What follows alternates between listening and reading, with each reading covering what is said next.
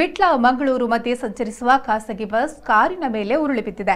ವಿಟ್ಲದಿಂದ ಮಂಗಳೂರು ಕಡೆಗೆ ಹೋಗ್ತಾ ಇದ್ದ ಖಾಸಗಿ ಬಸ್ನ ಟೈರ್ ಬ್ಲಾಸ್ಟ್ ಆಗಿ ಡಿವೈಡರ್ ಮೇಲಿಂದ ಹಾದು ಹೋಗಿ ಮಂಗಳೂರಿಂದ ಬಿಸಿ ರೋಡ್ ಕಡೆ ಹೋಗ್ತಾ ಇದ್ದ ಕಾರಿಗೆ ಡಿಕ್ಕಿ ಹೊಡೆದಿದೆ.